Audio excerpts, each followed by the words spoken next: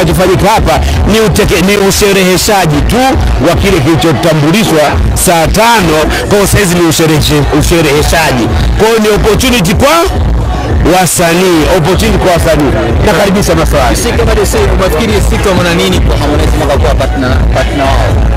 Ah, ukisema umeenda kuwa partner ndio siku zote msanii mkubwa anafungua opportunity. Msanii mkubwa anafungua opportunity na anafungua opportunity kwa Watanzania.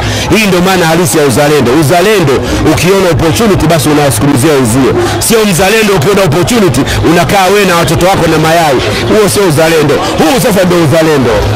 Una lingine? DC DC bana siki ni kwa ajili ya wasanii wote, lakini design kama naona wengine wataanza ku- kubanabana fulani hivi.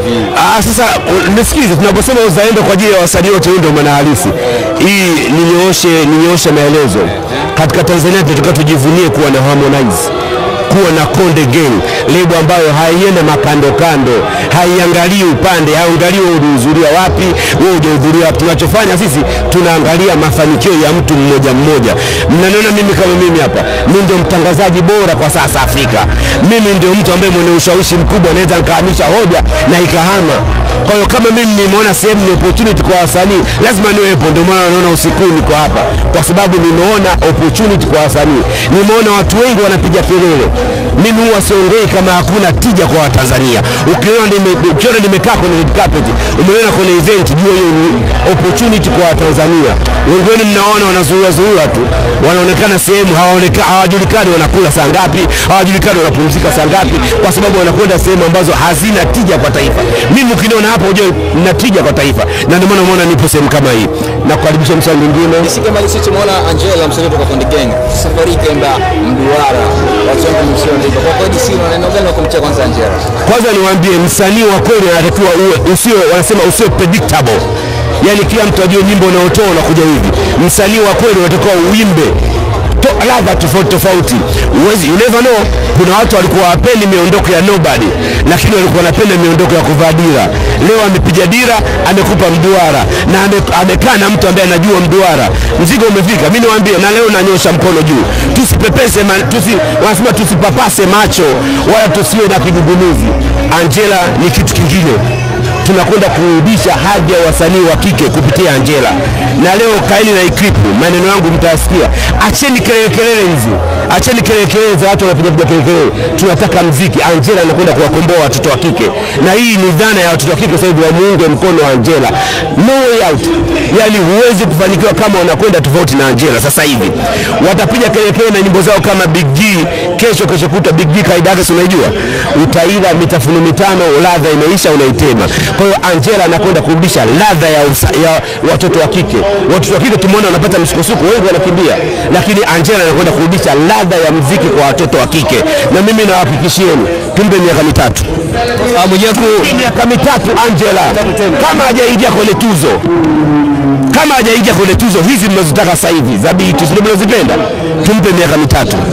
ya bungeni juzi ama wiki chache zilizopita waliongelea masuala ya watu kujiita waheshimiwa, kujiita maraisi. Kwa- Unadhani wakileta na swala la kujiita madc kwako haitakuwa shida kujiita DC?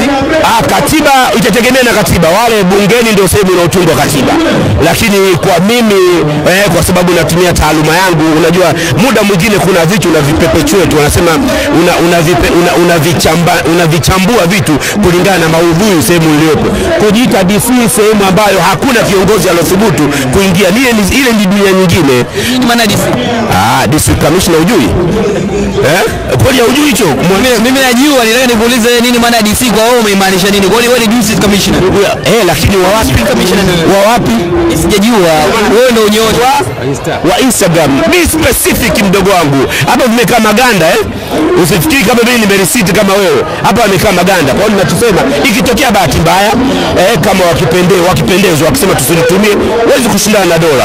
Itabidi uache. Litakuja kitu kingine. Instead wakala leo Wasafi wakasema bwana, sisi tuna mtonyo huu tunakuletea, uje ofisini ufanye kazi. Utaama uh, kazi nakwambia zingatia maneno mimi watu wakaanza kuanza na mvutano watu wakaanza kuanza na mvutano ni mtu mmoja tu hakuna kama Mwijaku nilisimama na hoja nikaisimamisha hoja afu nikawaachia vijana wapapatike nayo Kwa tuhifadhi kwamba hutakuja kuingia kwenye media yote tofauti na klabu. Hadi nisikilize na kaa na maneno yangu umeshatupata eh?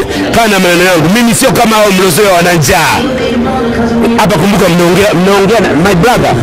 Mabibi na bwana mnaongea na mtu mwenye elimu yake msomi la kwanza. La pili mnaongea na mtu ambaye anajitambua. Mnaongea na mtu ambaye analipwa mshahara. Wewe unajua mshahara wangu unalipwa na Klausmin unajua mshahara unalipwa na Klausmin mpaka useme nitanunua kama bidii, Mta- mtakimbia hapa mtashindwa hata kunipiga hata simu wengine kunijie mtashindwa na mwanaume wa kweli mwenye elimu yake hawezi kutaja mshahara wake kwa sababu mshahara wangu ni mtamu. Angalia maisha ninayoishi na mke wangu. Angalia life standard anayoishi mtoto wangu. Angalia na watu mnaongoza na yao utajua mwingiapo maisha gani anaishi.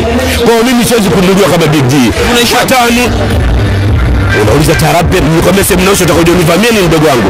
Mimi sio kama wale ambao wananunuliwa kama big G. Ile unaomba mzingatie na mpigie magara Ni kubwa. Ni kubwa kabisa.